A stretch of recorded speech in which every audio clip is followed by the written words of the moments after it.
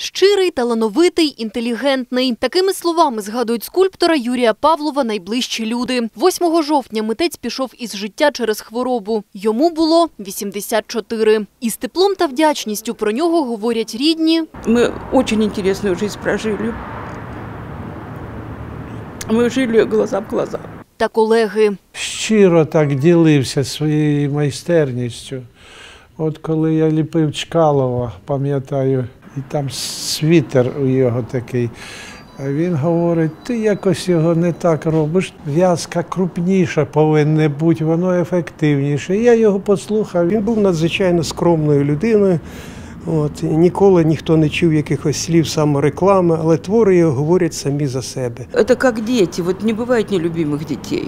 Понад 20 творінь Юрія Павлова прикрашають нині вулиці Дніпра. Серед них славнозвісна скульптура музи у фонтані біля оперного театру. Лев, який оберігає головну алею парку Шевченка. Гіппократ на вході до медакадемії. З-під руки заслуженого художника з'явилися барельєфи на стелах нового мосту і фасадне оздоблення театру Шевченка. Когда он начинал работу, э, вот какая-то тема есть. Он очень тщательно изучал то время, материалы все, историю, одежду, биографию, если это касалось там человека. Багато своїх робіт Юрій Павлов присвятив болючій темі війн. Біля залізничного коледжу розміщена його скульптура загиблим студентам, що приєдналися до ополчення в часи Другої світової. Тема афганської війни теж пронизала життя скульптора. Щороку в пам'ятні дати Юрій Павлов зустрічався з родинами загиблих. Їм присвятив відомий пам'ятник, який нині височіє на Січеславській набережній Дніпра.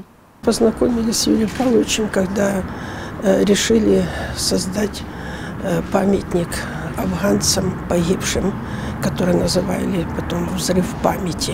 Саме ця робота Юрія Павлова уперше згуртувала родини загиблих вояків. Тогда вот Советский Союз наших детей старались замолчать.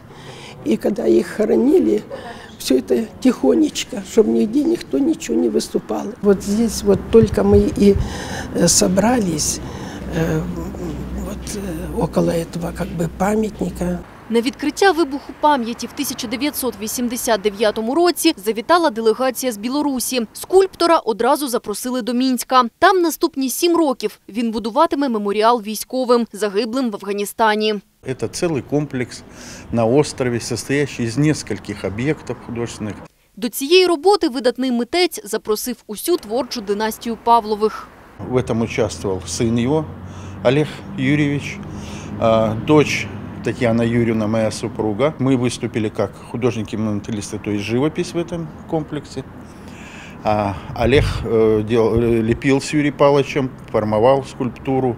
Мінський меморіал відкрили у 1996 році. Далі Юрій Павлов розробляв серію скульптур, які донині височіють у різних куточках Білорусі. Але завжди митець повертався додому на рідну Дніпропетровщину. Треба буде подумати, можливо, про проведення майбутнім і виставки, присвячені пам'яті Юрія Павловича, видання якогось альбому. До останніх днів, розповідають колеги, видатний скульптор творив у своїй майстерні. Все життя він мав активну громадянську позицію. Серію останніх робіт присвятив героям АТО і Небесній Сотні. Світла пам'ять Юрію Павлову. Його ім'я назавжди викарбуване в історії нашого міста. Юлія Бублик, Олександр Наумов. Новини 9 каналу.